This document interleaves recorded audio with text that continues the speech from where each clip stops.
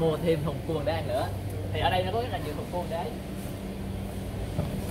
sao không mua lại có có miếng kiến coi kìa? Hả? Có mấy cái loại kia có coi không có thùng này nhiêu tiền. Đây tại có nhiều bạn hỏi mình để coi thùng này bao nhiêu tiền. Cái thùng này là 10 pound các bạn nó không nó không có ghi. Nhưng mà ở đây nó có cái thùng này wow. Các bạn nhìn nè. Cái thùng này nó có rất là nhiều kèn. Hai hai để chín. Thùng này hai để chín nhiêu nhưng pound? Mà, nhưng mà cái này bự hơn cái này 10 pound.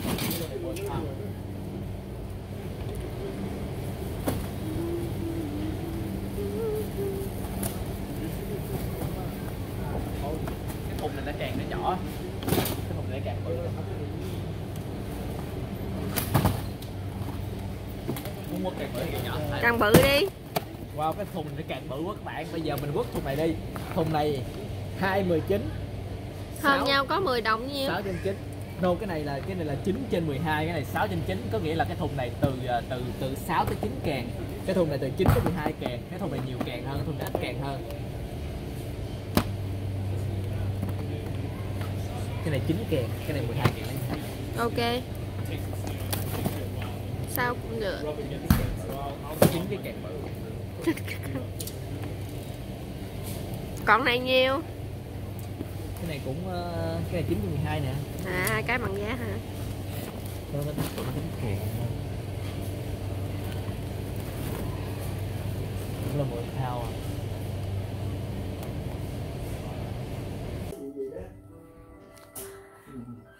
ăn gì chưa?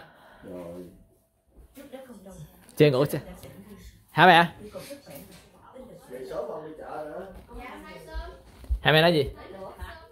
Một hai cây thôi lượng này cần phải không? À.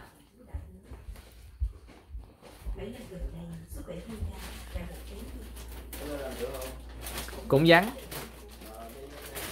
Ừ. mới con mấy mấy càng lên. Wow. Mẹ. ờ. Đồ ăn đi. Ờ rồi à, à mai rồi bỏ bỏ tủ lạnh đi mẹ không thôi nó tan Ok các bạn ơi thì sau khi mà mình ở nhà ba mẹ của mình về xong rồi thì mình đã đưa cua hoàng đế cho ba mẹ của mình rồi. Thì bây giờ mình đã về tới nhà và mình sẽ chuẩn bị ăn cua hoàng đế tiếp. Thì à, lần trước mình mua nguyên con cua cho nên mình ăn không có đã. Lần này cho nên mình mua cái thùng cua hoàng đế này ăn cho nó đã các bạn. Cái thùng cua hoàng đế này chỉ có 200 đô thôi các bạn nhìn nè. Ok. Mười mười mấy kèm luôn wow, các bạn nhìn cái càng con cua hoàng đế nào cái càng con cua hoàng đế này nó bự hơn cái càng con cua hoàng đế hôm bữa nha các bạn. Wow, các bạn nhìn nè. Trời. Wow, các bạn thấy không? Wow, các bạn thấy không? Quá bự luôn, Quá bự luôn. Nội mà ăn hai cái càng này thôi là là là nhân no rồi. Rồi. Ôi, nhìn cái càng nó đó các bạn ơi. Ok, bây giờ mình sẽ rửa nó, giờ mình luộc nó nha các bạn. Ăn cua quạt đới cùng nhân lì tiếp tục.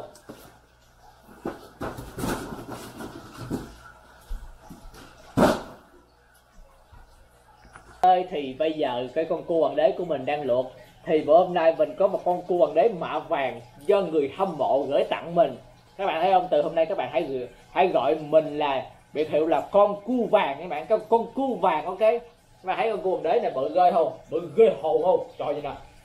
Nó nó bằng cái bàn luôn á quá bự luôn. Đây nè rồi con cua này là nặng là 4 kg nha các bạn.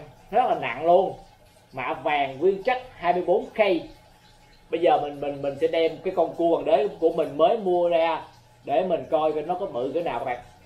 Giờ mình tạm thời để con cua hoàng đế bên đây đi. À cua hoàng đế siêu khủng. Đó, bây giờ để ở đây đi. Giờ mình sẽ ăn khai vị là món trứng cút cái đã. Bây giờ trong khi chờ đợi em uh, cua hoàng đế lên. Wow, trứng cút của này tươi các bạn ơi. Ừ. ừ, tươi không Được ha ừ. ngon. Nhà người ta mua bà con mua chung chút chút chọn đi à đúng hả? Các bạn các bạn nhìn cái con cái con cua hoàng đế này của mình nè đây là cái con cua hoàng đế mà mình mua các bạn nhìn cái càng đó nè. Đó không? Các bạn nhìn cái càng của con cua này nè. Các bạn thấy hai cái càng nó khác nhau một trời một vực không? Không? Còn các bạn nhìn cái cái càng cái càng của con cua này nè. Cái càng này nè. Qua các bạn các bạn nhìn thấy nè. Đó. Bữa hôm nay mình sẽ ăn cua hoàng đế chân cua hoàng đế và mình sẽ phân tích cho các bạn nghe. Các bạn nhìn coi cái cái chân này nè. Rồi ơi các bạn thấy con cua hoàng đế không không? À, các bạn thấy con cua này nè à, rồi các bạn nhìn cái chân đó nè. Bây giờ bây giờ mình mình sẽ vừa ăn vừa phân tích các bạn nhé. Ok. Trước tiên mình cạn ly với các bạn các bạn nhé cạn ly các bạn nha. Đưa kéo cho này ô bây giờ mình sẽ ăn cái càng đi các bạn ơi. Cái càng nó bự quá đi.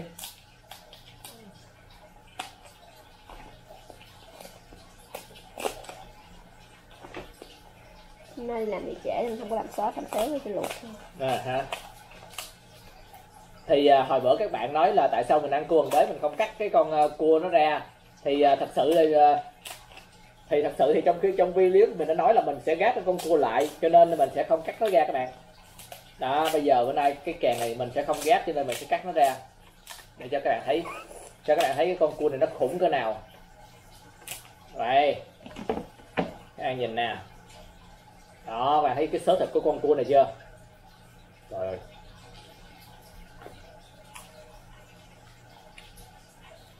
đây một cục thịt. Ừm, hấp dẫn. Ở đây các bạn nhìn nào uhm, dẫn quá. Ông bơ để lại trên chồng. Ở đây cũng có thịt nữa nè nhưng không chấm rồi thịt quá trời luôn các bạn ơi. Ngon quá ngon các bạn biết không? Cái này mình nói thiệt, mình không có nổi nữa khi mà các bạn ăn con cua hoàng đế á, khi mà các bạn mua nguyên con về á, mặc dù nó tươi thiệt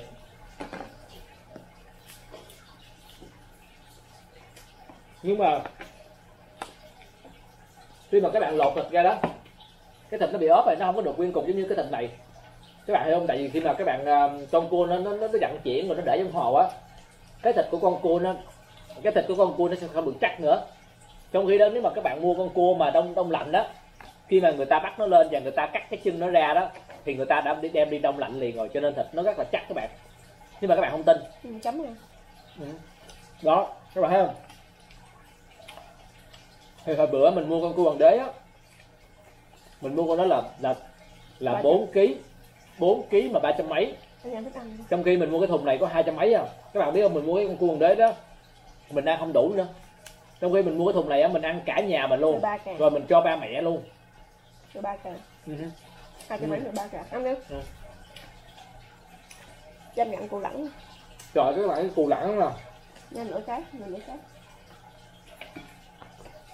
Ngon quá các bạn ơi đi. trời ơi cái cù lẳng của con cua hoàng đế nè hấp dẫn quá Ừ, Tầm bự để em.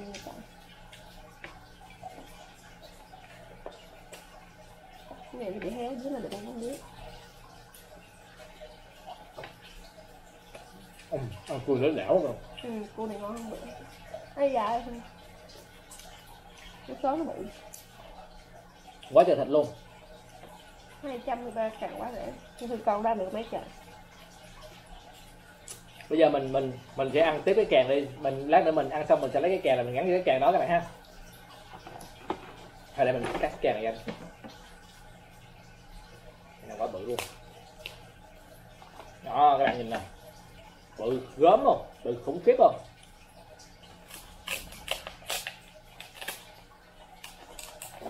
đó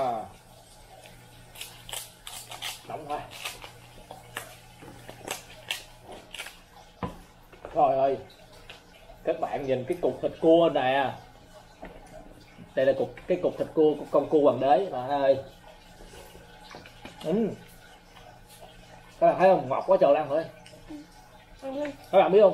hồi bữa mình mua con cua hoàng đế kia mình về mình mình tháo nó ra ở trong đây cái thịt nó nó bị ốp các bạn nó không có thịt vẫn có nhưng mà cái thịt của nó không có được nhiều bằng cái, cái con cua đông lạnh này bởi vì khi mà mình ăn các bạn ăn cua hoàng đế á mà các bạn muốn ăn mà nhiều thịt á mình khuyên các bạn là nên mua. Cua hoàng đế đông lạnh. Càng thôi. Mua cái càng thôi. Thì các bạn sẽ ăn được nhiều thịt hơn. Quá trời luôn. Mà Việt Nam chắc không ai bán càng bán con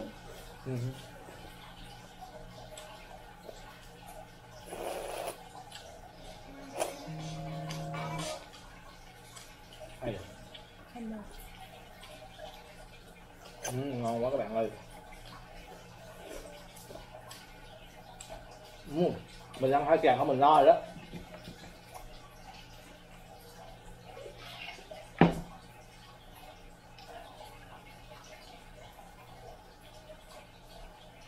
Bữa hôm nay mình có đăng trứng cút nữa cho nên mình sẽ ăn cua hoàng đế với trứng cút.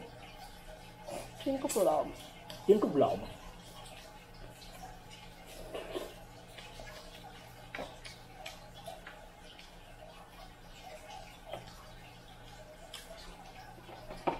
ừ, cái càng này bự quá. Cái này nó bự gấp mấy lần cái càng của con kia luôn. Ừ, càng nó xíu. Ừ. để mình mình ăn xong mình ráp lại. Trời càng hùng vĩ quá vậy. Dạ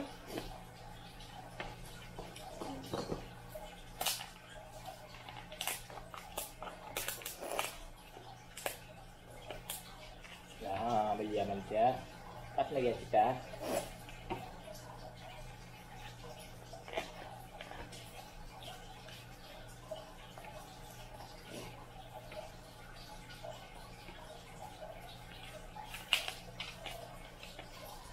rồi con này cứng quá vậy mình phải dùng tới cái kiềm cương lực của mình đây. Wow.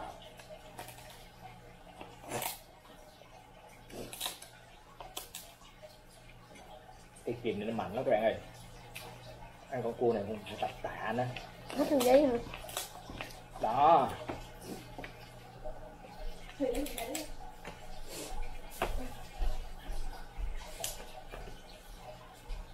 Đánh nó ra.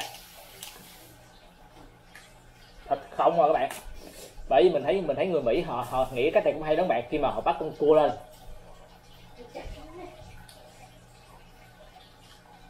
Họ chặt chân nó xong. Họ đem đi đông lạnh liền, rồi họ có thể vận chuyển khắp nơi luôn. Như vậy sẽ giữ được cái thịt của nó ngay và luôn.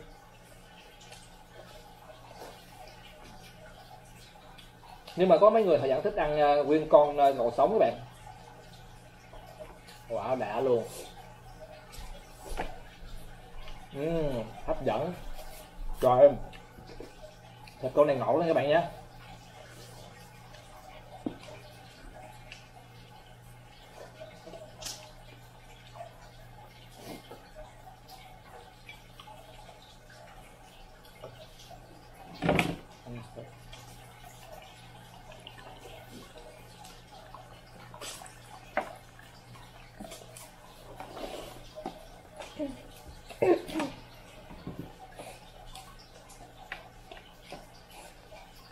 Trời ơi ăn là đã quá.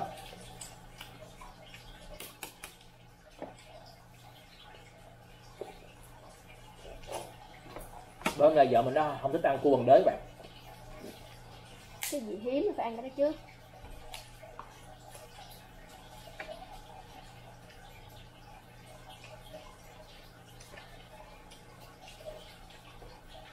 đó lát nữa mình ăn xong.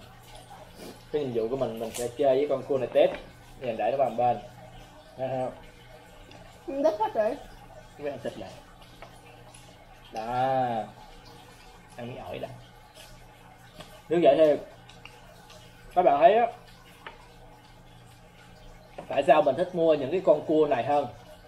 Tại vì mình mua cái thùng cua này chỉ có 200 đô thôi à. Mà mình ăn quá trời luôn. Bốn năm người ăn luôn cái trong khi mình mua con kia cơ tới 400 đô luôn mà có hai người ăn à? Mà thịt đến này không được nhiều nữa. Các bạn thấy không? Tính. Rất là lại.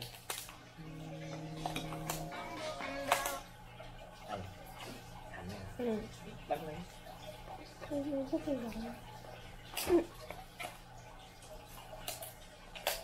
ok. Thì bây giờ mình sẽ tiếp tục ăn rồi để trội cái cạn nó bự gớm các bạn. Ôi oh, rồi cạp như cạp đùi gà chứ tôi ăn cua mà tôi tưởng ăn đùi gà mà.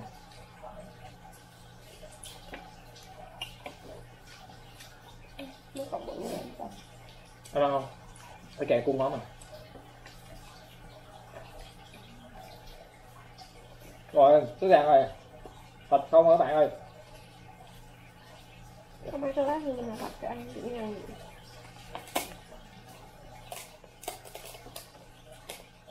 Ờ, rồi.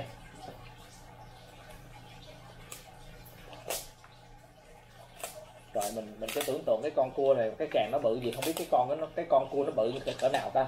Cái con này á cái con cua này các bạn thấy không? Mặc dù nó nó đã nhỏ như vậy rồi mà cái càng con này là trời các bạn nhìn nè. Nó bự mấy lần luôn á. Chắc mười mấy bao con này chắc khủng lắm nè. Từ nay các bạn hay gọi mình là con cua vàng các bạn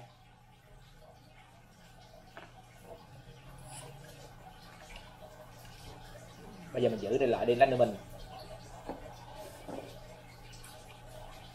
ngon tôi ăn xong cái này, tôi tôi xỉu luôn các bạn ơi. Cạn lên nha oh yeah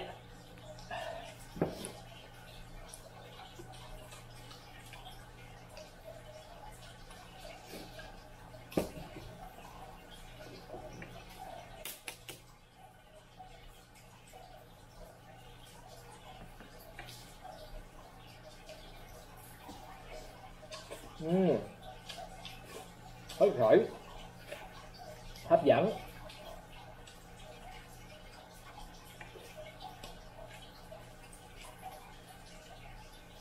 Trời nói nó cái càng này đó là biết bao nhiêu thịt trong này à? Ừ. ăn cho chén này cho chén này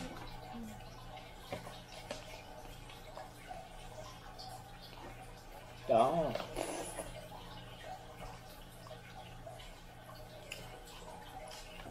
Em mình rồi cái gà ra ra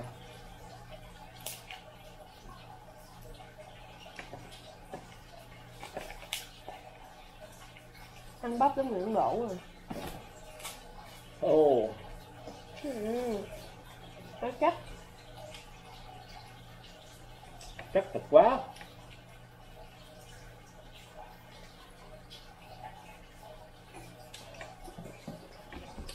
Ừ, ngon quá các bạn ơi cái này á nếu mà lần sau mà kêu mình mua nguyên con cua hoàng đế mình không mua đâu. Tại vì á mua nguyên con cua hoàng đế á nó không ngon.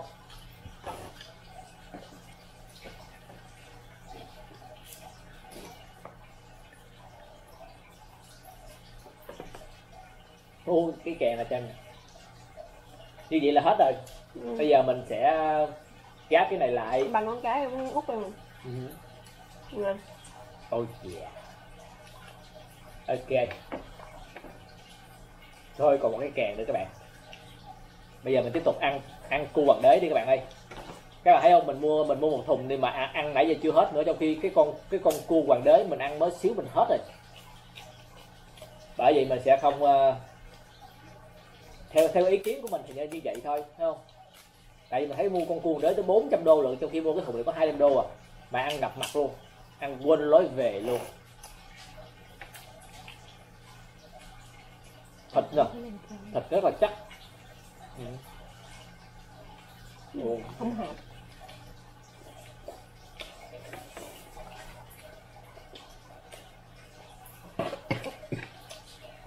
ok các bạn ơi bây giờ mình sẽ kết thúc video nhé. Thì à, cảm ơn các bạn đã theo dõi kênh của mình. Thì à, cảm ơn các bạn đã thích kênh ăn cua hoàng đế cùng nhân lì các bạn thấy mình ăn cua để giữ quá bây giờ người ta tặng cho mình con cua vàng luôn để phong cái chất hiệu là con cua vàng. Đó, bị từ lên nhân lì, có biệt hiệu mới là nhân lì không gọi là nhân lì nữa, nhân lì gọi là con cua vàng các bạn. Thấy không? Bây giờ tạm biệt các bạn nhé. Bây giờ các bạn sẽ thích cái con cua vàng này của mình. Ok.